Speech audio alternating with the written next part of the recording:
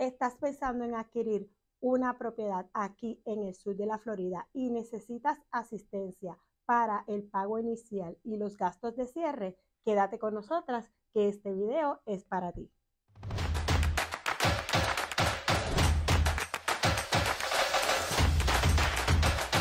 Saludos a todos, soy Elizabeth Carvajal, agente de bienes raíces en el sur de la Florida para REMAX Excellence en Wellington. Y hoy me acompaña Elizabeth. Elizabeth López, um, así que es mi tocaya, pero uh, yo estoy trabajando con la compañía que se llama The Mortgage Firm Wellington Lake Worth, pero cubrimos todo el estado de la Florida. Perfecto. Eh, cuéntanos, Elizabeth, hoy vamos a hablar sobre un programa muy importante que le va a beneficiar a todas las personas, eh, ¿verdad? Que están deseando comprar una propiedad y necesitan asistencia para el pago inicial y o para los gastos de cierre. Cuéntanos un poco más sobre ese programa. el programa comenzó inicialmente, bueno, se puso un poco más popular el año pasado cuando salió lo de Hometown Heroes y muchas personas quedaron fuera, digamos, tal vez del lugar porque tal vez la, lo que hacían de profesión mm. no estaba en la lista. Entonces, este programa nos ayuda a abrirle la puerta a las personas de que tal vez no, no, no podemos aprobar con el otro programa pero en vez de dar un porcentaje, es 10 mil dólares que te ayudan para primeros compradores. Ok. Entonces, este, ¿significa que te dan 10 mil dólares completo o eso va a depender según el ingreso de la persona o tiene alguna variante, los 10 mil dólares? No, son 10 mil dólares completos. Pero, inicialmente son los 10 mil dólares completos y eso lo que lo, lo bueno de este programa es también de que no es solamente 10 mil dólares para el depósito inicial o 10 mil dólares para los gastos de cierre. Ah, cuando nosotros vemos esa cantidad en total, la compañía de título, por decir, nos dicen son 20 mil dólares, por decir en total. Entonces, el cliente se está sacando 10 mil dólares y el estado de la Florida está dando los 10 mil dólares también.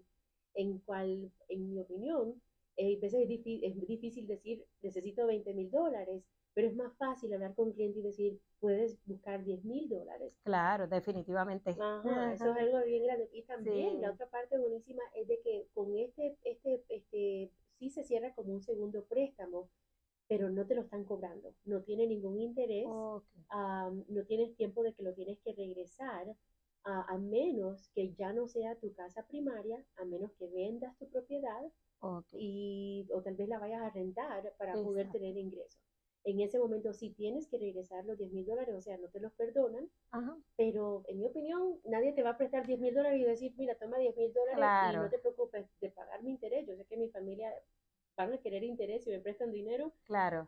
y también me lo van a pedir hasta en cierto tiempo. Claro. Pero aquí no te están apurando para decir, necesito el dinero que me lo dejen en 5 años, en 10 años, sino que es el tiempo que uno vive en su casa. Sí. Y eso tiene quizás este, una eh, salida porque yo entiendo que acá en la Florida, como las casas aumentan de valor, pues ese equity lo puedes utilizar quizás, ¿verdad? Y entonces es más fácil. Exacto, en el momento que la casa se vende, que normalmente una casa no la vas a vender a menos que tengas, este, ¿cómo dices? Ese equity ahí.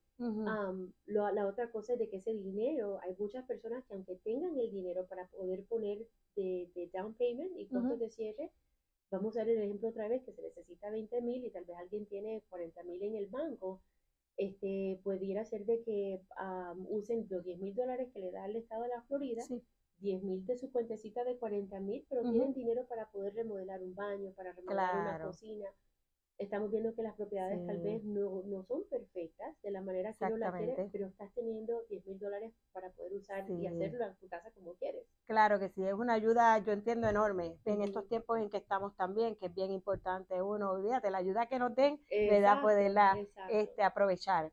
Y entonces, más o menos, ¿qué personas califican para este tipo de programa? las personas que califican, como dije, este, yo sé que había mencionado compradores para primera vez, pero lo que significa la definición del primer comprador es alguien de que no necesariamente alguien que nunca ha tenido una casa, sino que en los últimos tres años, alguien que no haya tenido una casa en los últimos tres años.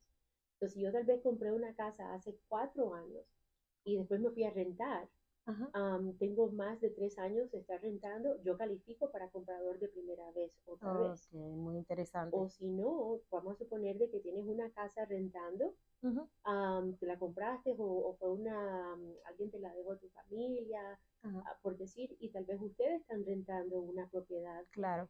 y, y, esa casa que tienen uh, la están poniendo en la renta, pero ustedes nunca han vivido en esa casa en tres años, son compradores de primera vez. Ok, se cataloga como comprador por primera vez y podría calificar entonces para este programa.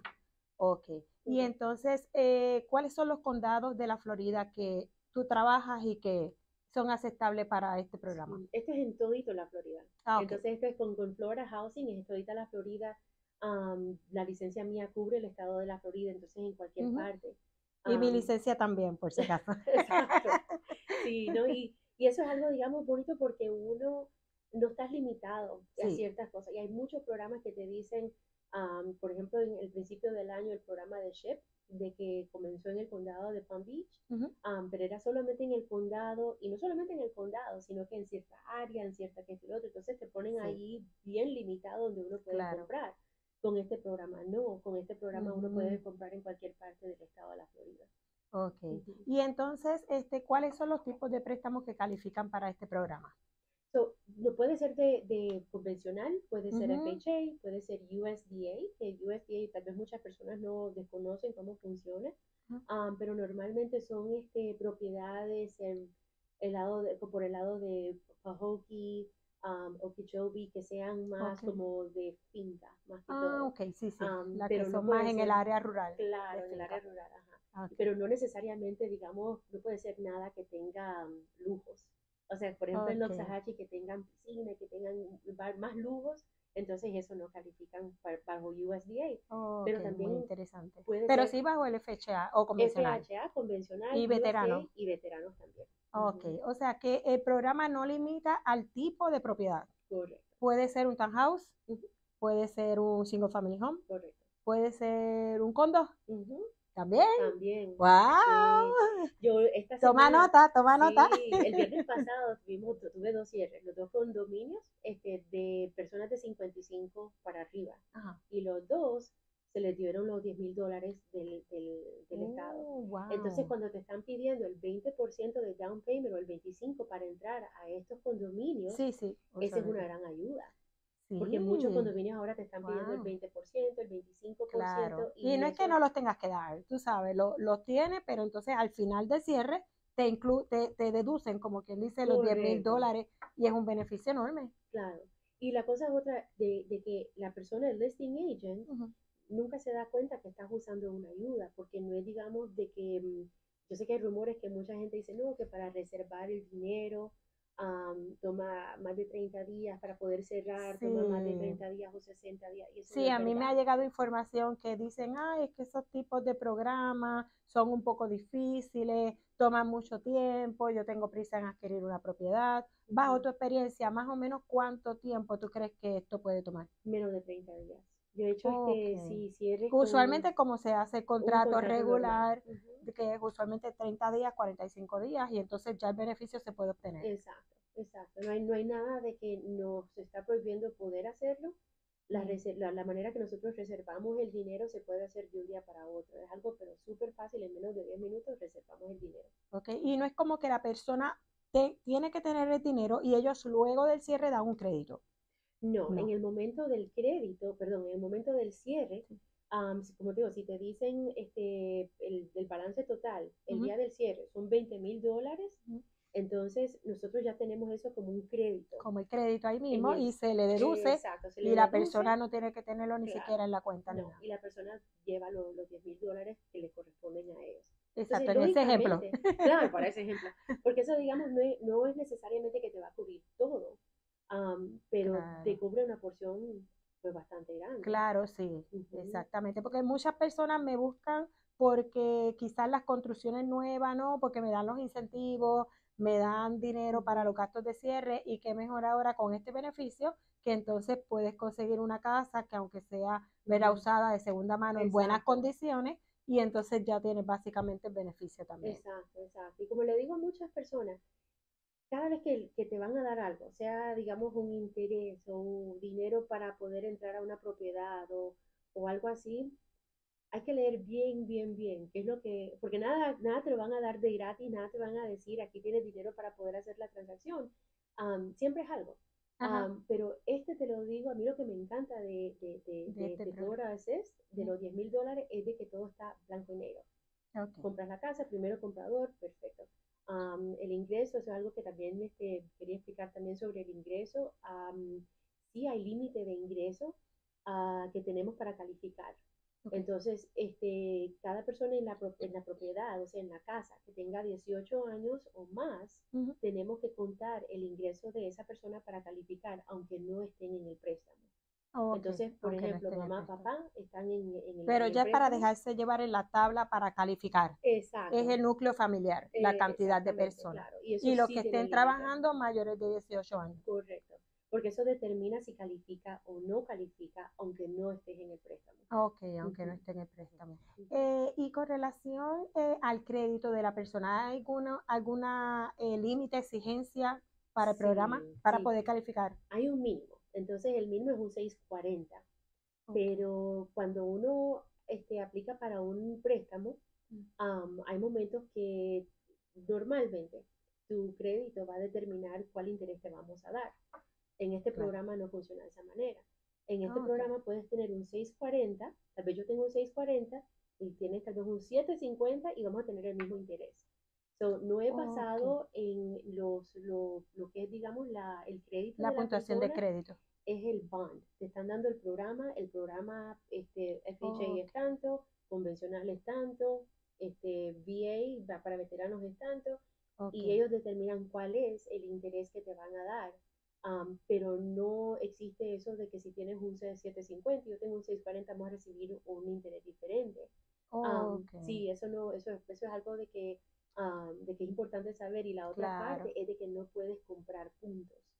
O sea, de que solamente porque tienes 750 y yo tengo un 640, vamos a suponer que nos dan un 6,5 para el, para, para el bond, y tal vez tienes un poquito más dinero que yo, entonces no puedes decir, voy a comprar el, Voy a comprar los puntos. No se puede, no se puede comprar el por puntos. Ajá. Que normalmente en un, en un préstamo regular sí se puede. Ok, pero tengo entendido que usualmente el porciento de interés de este tipo de préstamo tiende a ser más bajo que si fuera una persona a hacer un préstamo ¿verdad? regular, original, por FHA convencional o veterano. Sí, actualmente. Que eso es otro beneficio adicional de adquirir los 10 mil dólares. Tras que te están dando dinero, Claro.